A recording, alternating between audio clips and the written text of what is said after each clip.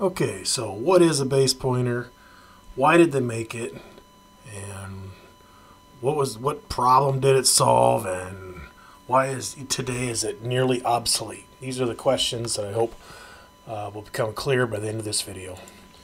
So we're going to go back in time. We're going to go back and um, uh, back. I don't know how many, few two or three decades ago. I don't know. Um, we're going to do a little test here, and we're going to kind of look at. Uh, we're going to make like an old-fashioned function is what we're going to do.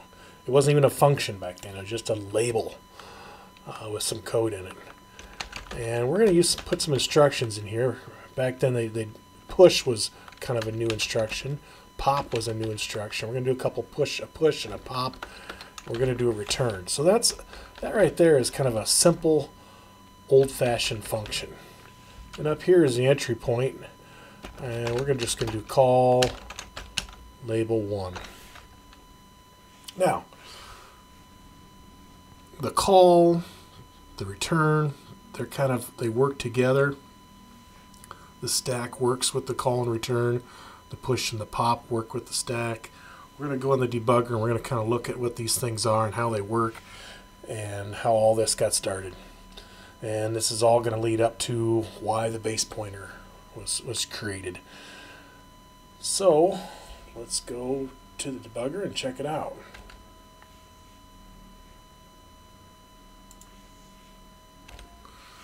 Okay, so here's our program. Uh, what we get when we start up is a stack.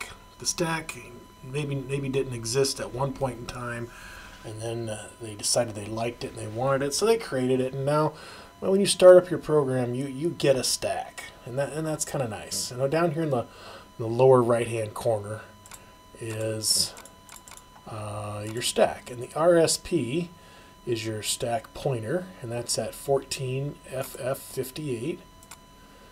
And that's the top, considered the top of your stack. Now I can scroll this window up, and I can, the, there's still memory addresses there, uh, but it's considered kind of out of scope of your stack. So it always seems to line up this window with the top right there. Um, so let's talk about what's going on here. So we're going to do a call. Now what the call is is a typical way to call a function. Uh, when I step into this, you're going to see that the stack pointer changes. And if you saw that blink, it basically is 8 less. It used to be there at FF58, now it's FF50. So this number that got put on the stack is 12006. And if you look over here, that is the very next line after the call. So that's how, after the function's done, it knows where to jump back to. Uh, very important part there. So if you happen to change that number, by the way, it will jump somewhere else. Uh, so I lost my place. Let's go to uh,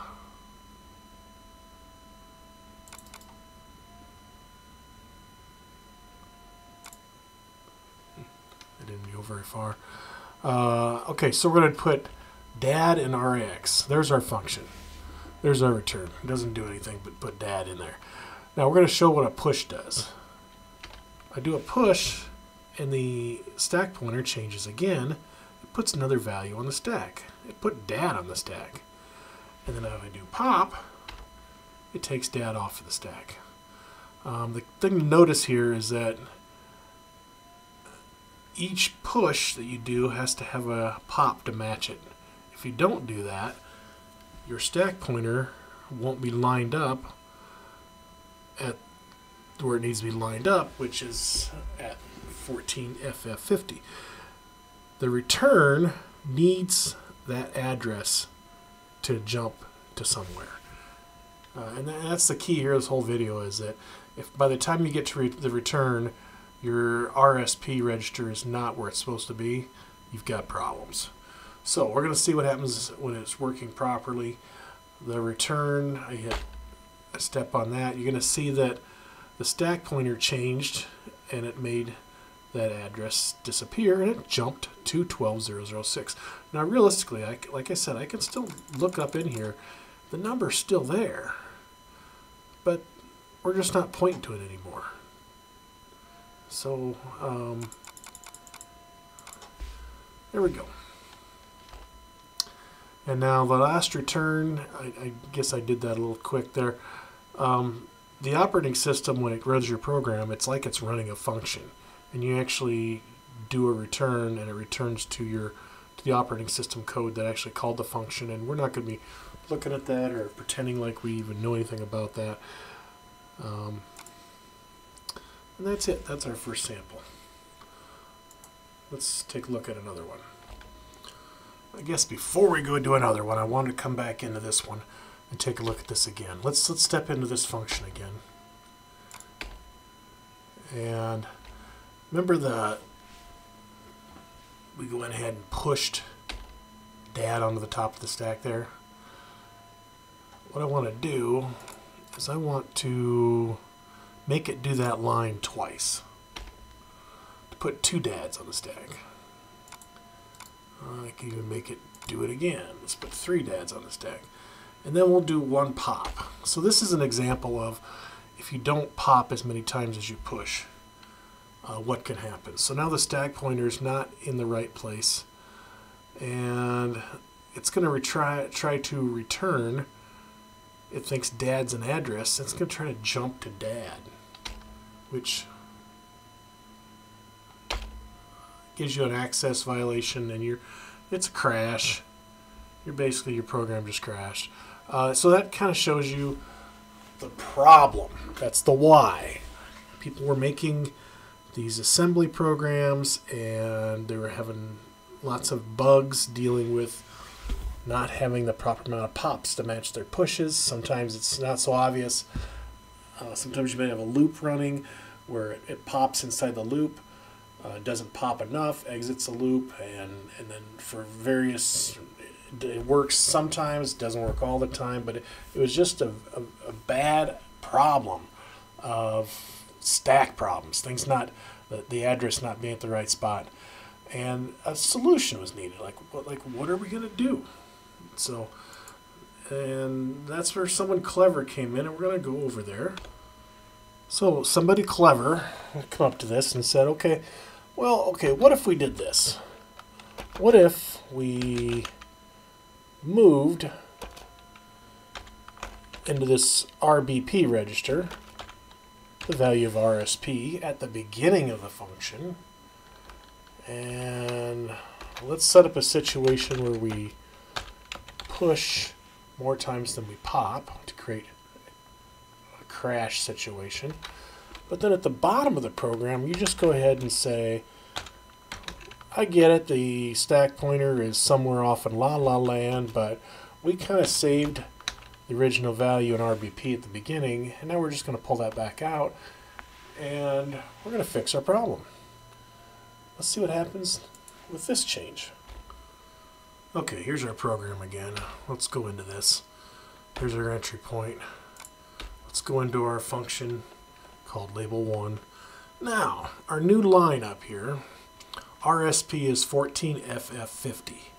That's the address of where our return is at. That's the what RSP needs to be at the bottom in order to make the return happen properly. What we're going to do is we're going to save that or make a copy of it into RBP. There it is. Now we're going to go ahead and run our function and we're going to create more pushes than we do pops. Oh, we would have had a problem. This would have been a crash. But wait, what if we now bring out the original value of RSP and bring it back? Now we're pointing at the right place and we don't crash and out we go. Life is good.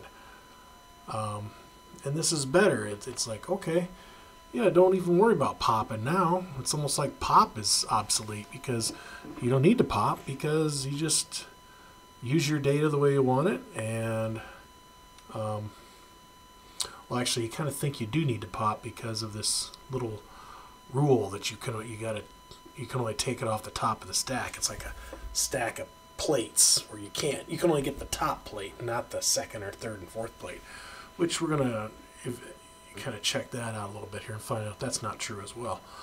Uh, so let's go back. Let's go back and change this a little bit. Okay, so this this method worked, but it doesn't work all the time. And what we're going to do is we're going to explore a circumstance where this method did not work. It's a, a case where a function calls another function. So let's make another function called label2. And we're going to go ahead and do our little move RBP, come RSP trick at the top of that function. And we're going to move, our function is going to be a little different. It's going to move into RAX. There you go. X, move into RAX. Um, let's do uh, just a different value here. Ugh. Ugh. Struggling here. I'm trying to think ahead and it's not doing so well. So we're going to move cab into RX. There's our function. Um, let's do a couple pushes. Uh, let's do one pop. By the way, you could do pop RBX too. Um, if you wanted to put it in a different register. Just FYI. And at the bottom, we're going to go move. We got our pushes and pops wrong. It's okay. We got our saved our got our saved RSP values, so we're gonna we're gonna we're gonna be good.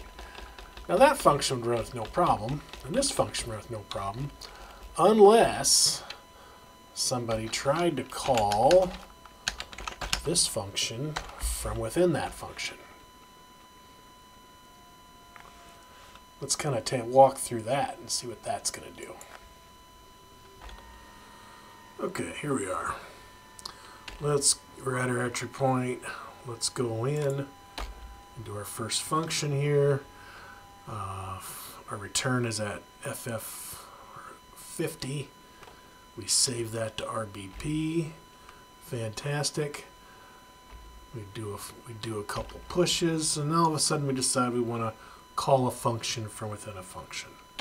So let's go to that function. Now notice that the stack down here added another return address on there.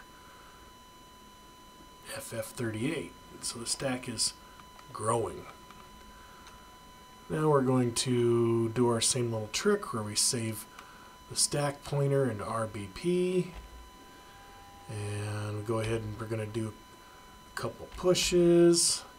And we're going to do a pop, mismatching. And it's okay because we can pull our RSP value out of RBP and it sets us back up to our return. Fantastic. Let's go back. Now we're back to the first function. Uh, we got two dads push. We pop only one of the dads. Okay. That's okay if you don't pop as many because we got RBP saved um, the problem is, is that it's not the value it used to be just a second ago. It's the value the other function used, which is going to create problems here. So now RSP gets changed up here to the return that it was from the inner function. And what's that going to do? That's going to make it jump back to that point. You just change the return from label 1 back to the return from where label 2 was.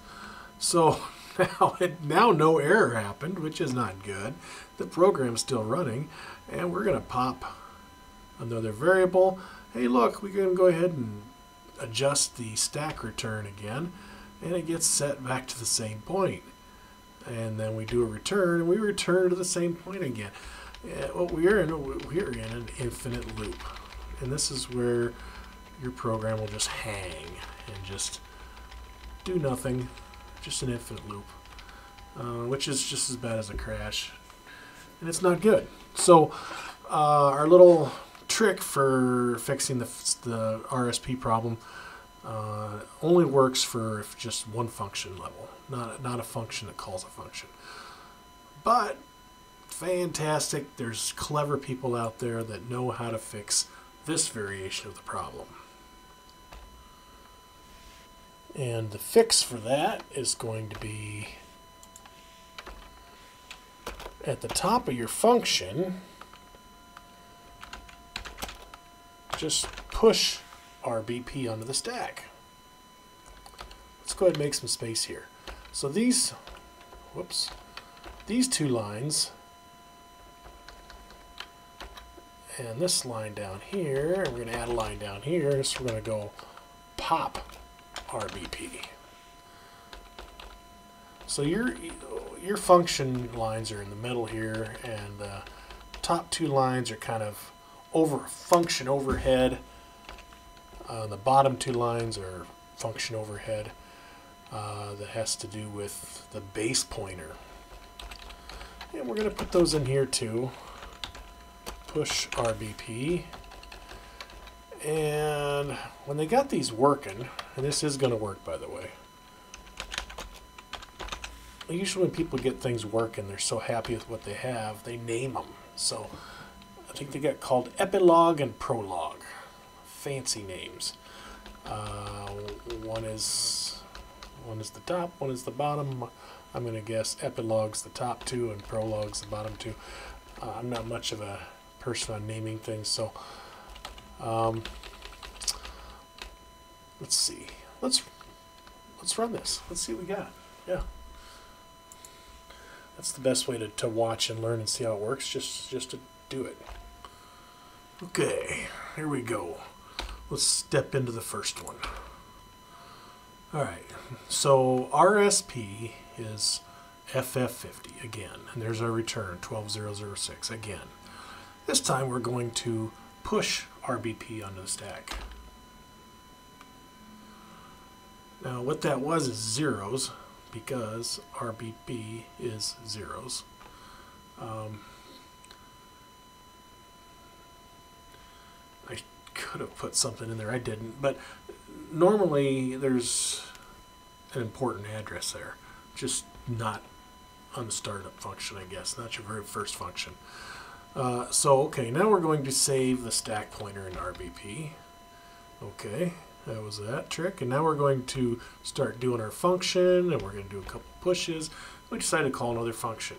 Okay, now we get in the other function. It does the same save, pushing RBP. This is where this is the RBP that we don't want to lose from the first function. So when that runs, that pushes that onto the stack. And now we're going to go ahead and save our stack pointer. Now you might say, well, the stack pointer is not in the right space. Well, that's because this pop is underneath this move down here. There's our last bottom move that pops underneath it. So if you, if you put it in the right space, it, it works out. Um, so let's go ahead and do a couple pushes with just one pop. All right, so our stack pointer is off. We didn't pop the right number of times. And here's our fix. Let's go ahead and fix the stack pointer. Perfect. All right, so it is one off. It's uh, but this pop right here, popping RBP, is going to bring in the old base pointer from the previous function, and now we're pointed at our return address. See, it worked out. We go ahead and do our return, and now the RBP register is set where we want it. We go ahead and uh, um, reset the RSP to where we to where it's supposed to be. There's all the zeros from the original RBP. We go ahead and pop those into the register. And we go ahead and return, and we're back to the entry point, and the program's done. Fantastic. And the world turns, and there's the answers to. So the problem was pushing and popping the right number of times. The solution was the base pointer on all your function calls. All it adds is a little bit overhead to every function, two lines at the top, two lines at the bottom, and the world turns. Now, we're going to do another example here. This is let's get rid of this one. Uh, so as the world matured and people um, started writing more assembler, assembly, and uh, they realized that you don't need to push and pop at all. There's other ways to do it. So we're going to leave our front top two and bottom two lines there. And I think I'll start a line right here. So let's say we have some values here. We're just going to do a series of values. Now, granted, I know that back in those days they didn't have all these all these extra registers to deal with, so uh, they, they, this is um, kind of a historical view of how they did things, but with a 64-bit operating system with 64-bit registers. Um, so uh, we, we have registers that they don't have. So let's go ahead and put five values in here and five registers. And let's go ahead and push R11, push R12, push R13, push. I know I said that pushes are obsolete, but uh, this example is going to do some pushing. Sometimes pushing is a little easier, easier to think about. You don't have to do any math. All right, so we're going to push those push those five values on the stack. Now, I don't think I want these down here. Okay. Now, you can do an assembly what's called a memory address calculation. And the brackets mean that you're going to do a formula. And these formulas are actually very simple. They, they can't really uh, do a lot of terms in them. Um, I think a maximum of three terms. Uh, we're going to do take the RBP register value and subtract 8 from it. And whatever's in that 8 byte slot, put an RX.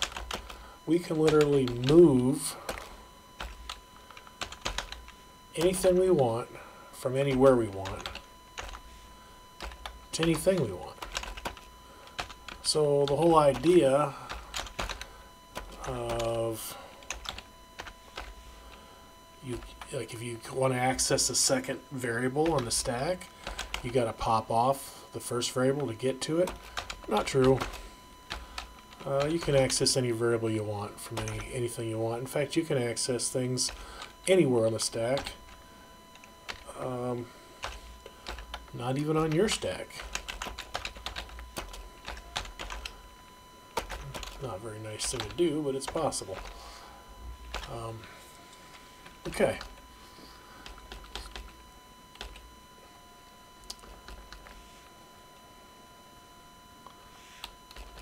Let's go to the debugger and watch that. So we're pushing five values in the stack, and we're going to pull off five values off the stack.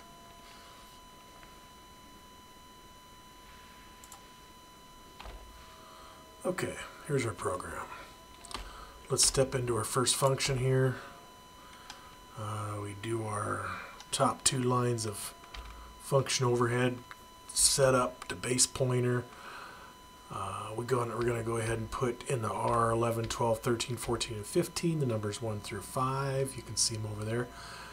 And now we're going to push all those values onto the stack, and you can see them now 1, 2, 3, 4, 5 over there in the bottom right. Now, we can pull any of those numbers we, uh, we want out and put them in RX. For example, there's 1, there's 2, and Notice that they're not disappearing. I'm just reading from the stack using a memory address calculation. There's 3, 4, and 5. So that is what I mean by popping is obsolete. Not only do you not have to get the right number of pops, you don't have to pop at all. To access your data, you can access the data as long as you know what the offsets are from RBP. You can access any of your data. And then at the bottom, uh, it's just going to fix the RSP pointer to its original location and return and return in the in the and it's over with. Fantastic, and the world moves on. Okay, so this line here with this push, I want to show you that the push became obsolete as well because you can do something like this.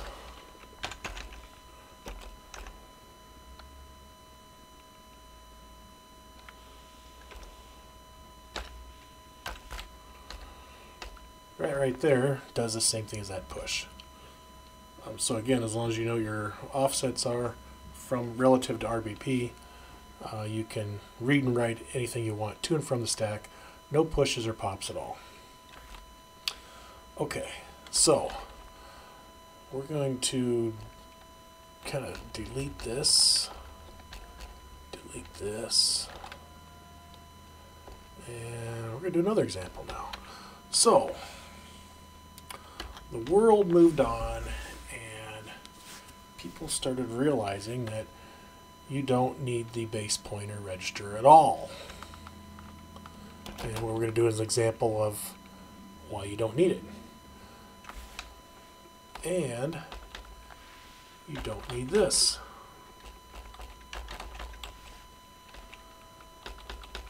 In fact, let's,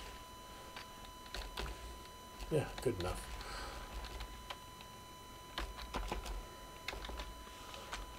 Okay, so what we can do is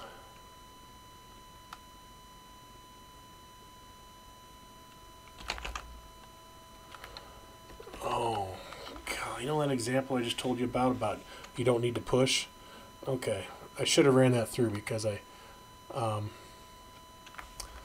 that wasn't exactly correct. If you don't adjust the stack pointer you're out of it, it'll work in that function but if you go calling other functions you're gonna will be overwriting your data. You have a problem. So that, that was kind of a bad example. Let's let's just almost forget what I did just a second ago and let's just go forward here uh, you, you need to manually adjust your stack pointer what we're gonna do is we're gonna do it uh, 28 um, 28 is uh, 5 eighths.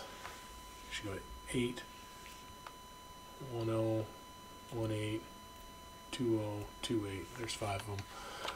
Uh, so what we're going to do is we're going to we're going to do everything relative to the RSP pointer. We're not going to use the base pointer because our base pointer is open. It's nothing. It's random. It's going to use it for something else. We're not using that base pointer anymore. So we can put R15 in there. And we're doing it as the top one. And we're going to do plus 8 R14. I'm going to move RSP plus.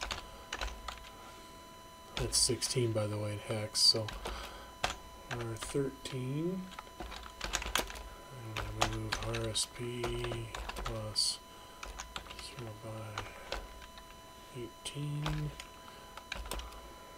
R12 RSP plus 0 by 20 11 RSP plus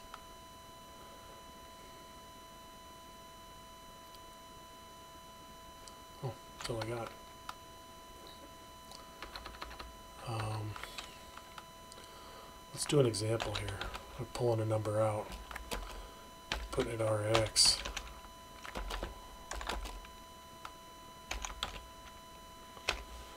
we can pull out that number if we want we can pull out second number.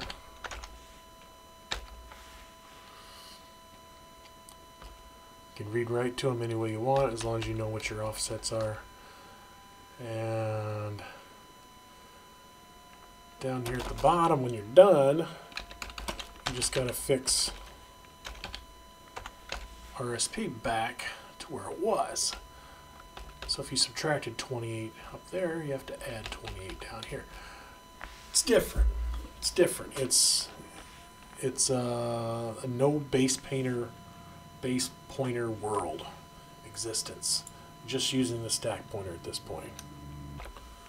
Okay, let's watch this one run. Here's our entry point. Let's go to our function. There we've got some data, one, two, three, four, five. Uh, now we're going to adjust our stack pointer, subtracting 28. You see in one single step, you just declare all the space you want. Now we're going to go ahead and uh, do some moves. We're going to put some more values into our space. And then maybe we're going to pull one out. We'll work with it. We'll pull another one out. Uh, we'll run our function. We'll end up returning dad. Uh, and at the very bottom, you just, we subtracted 28. We're going to now add 28. And our stack is right at the point where it needs to be to do the proper return. And fantastic life is good and the world turns. Okay, maybe life isn't so great because you're trying to write these programs and you got to keep remembering, maybe you jot down on a piece of paper, uh, your variables and what their offsets are, and you know maybe maybe there's an easier way. Maybe there's an easier way. So let's uh, let's get rid of this.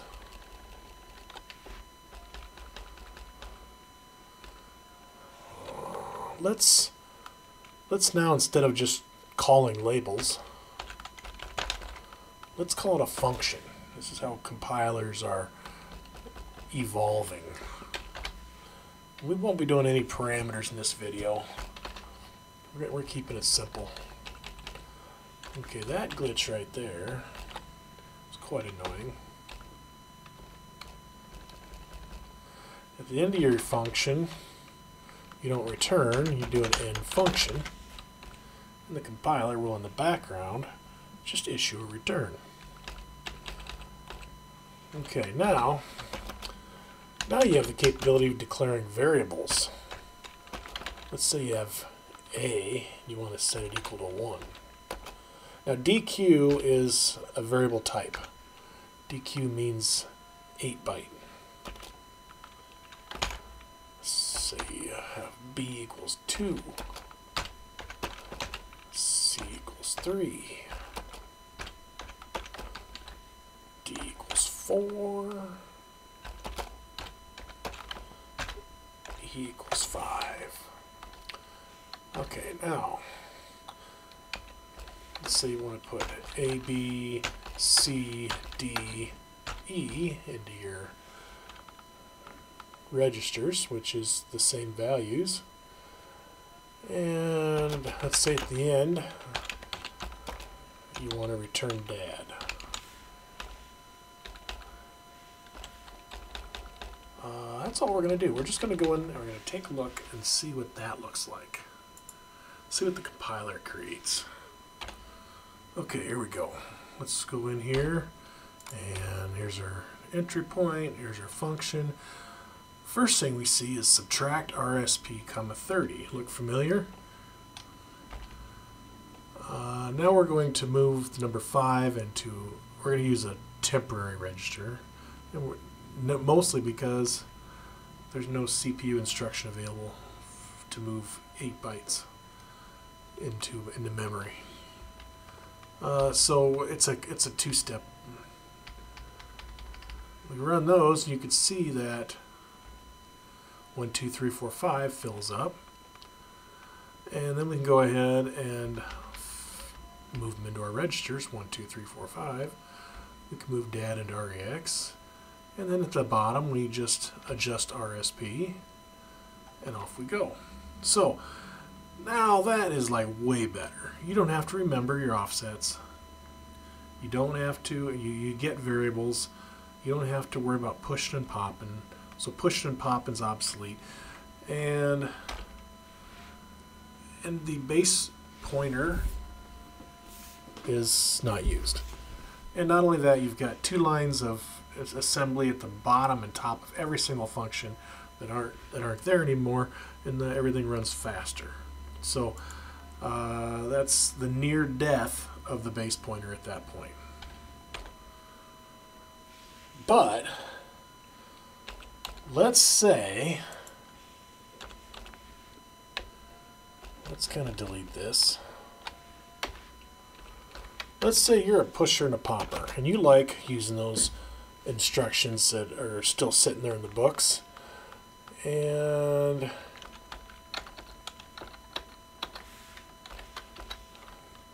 let's say you want to do some, you want to push RAX, push RAX again, you want to pop RAX, and you don't have your pushes to match your pops. Same problem from the beginning. Uh-oh, what's going to happen? Let's go take a look. Okay, here's our entry point. There's our function, and what do we see at the top? Push RBP. What? What? What just happened here? Um, I thought it's obsolete, and we're not. We don't use that anymore. Well, this this compiler looked at your code and said, "Oh, you're pushing popping. Uh, that might be a problem." we're going to go ahead and turn back on the base pointer logic and it put the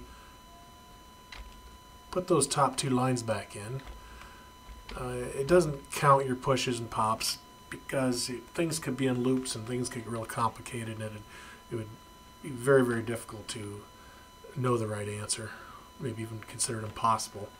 So it, it basically puts the base pointer logic back in which saves your stack pointer so that you don't have stack errors and out you go. Life is good. Well I don't know what other compilers do I just know that uh, this most people know about this they know about the base pointer and there's optimizations that will get rid of the base pointer I think I think they might be called frame pointer omission FPO, um, and I think some compilers have it as a default option. I, I really don't know. Um, I, I don't know if, if you start pushing popping if it's going to put the base pointer in or not. Uh, I just don't know what other compilers do, to tell you the truth. Um, but there it is. Um, it's kind of a nice little history lesson. It's kind of cool. The, the, the base pointer was built to solve a problem. Uh, now it's become the problem became obsolete. There's other ways to do it. Um, compilers came around and um, now optimize it out, and uh, it's just kind of history. It's just kind of cool. But that's why it's there. That's what it was for. And thanks for watching the video. See you later.